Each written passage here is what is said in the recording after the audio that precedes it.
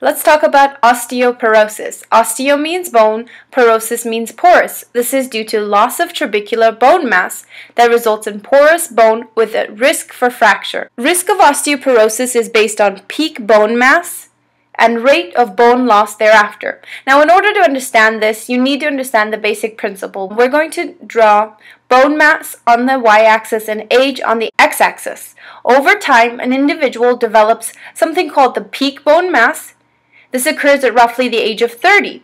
Three things determine how high this peak will be diet, exercise, and the vitamin D receptor you inherit from your parents, so basically genetics.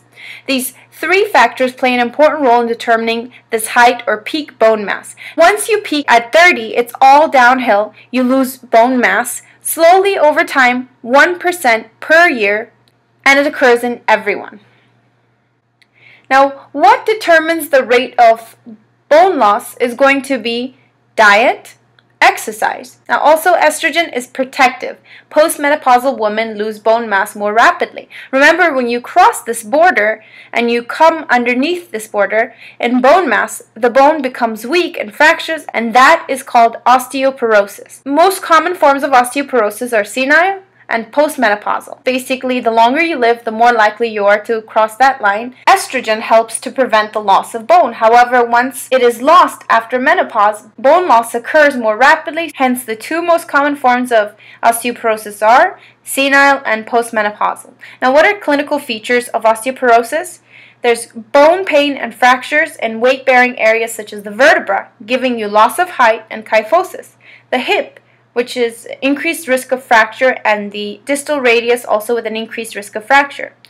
Now, if you want to monitor a patient's bone density, you can use something called the DEXA scan, which allows you to determine where you are on this chart to determine how much bone mass you actually have. Another clinical feature with osteoporosis is that all the labs are normal. This is important because having normal labs helps you distinguish between this disease from osteomalacia, which can present in a very similar way but would be due to vitamin D deficiency.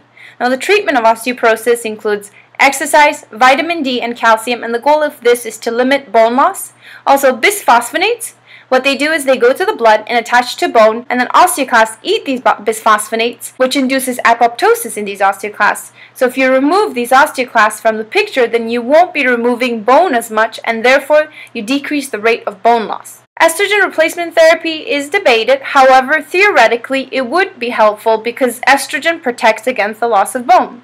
Glucocorticoids are contraindicated because they increase the risk of osteoporosis. In summary, osteoporosis is due to reduction in trabecular bone mass resulting in porous bone with an increased risk for fracture. This risk is based on the peak bone mass and several factors determine how quickly you reach that peak and how quickly you descend from that peak.